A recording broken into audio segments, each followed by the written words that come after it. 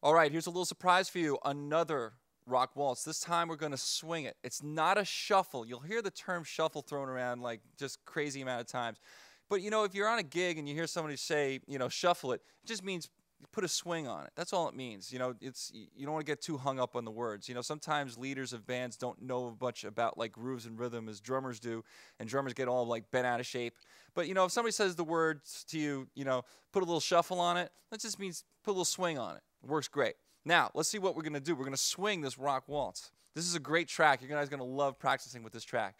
And it's also going to really start to look at some of those ghost things that we talked about, those ghost strokes. They have rhythmic value.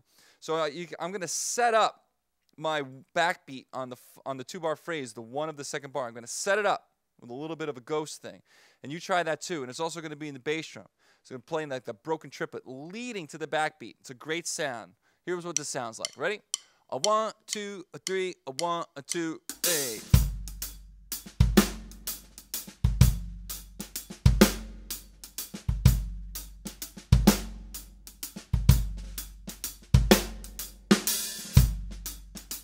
Hear that triplet?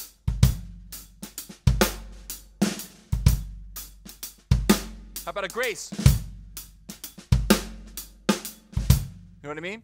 Ghosts, grace, all sorts of fun. That's the way I'm playing it. Maybe you want to put a little bit, you know, different triplet in there. Try it. This is just one interpretation. Don't forget, I'm not trying to make little clones of Tommy Igoe. What I want you to do is take it and make it your own. Have fun, experiment, make a whole ton of mistakes, and just have fun. Here's this, I, and I'm going to have fun on this track. This is one of my favorite tracks on the DVD. Here you go.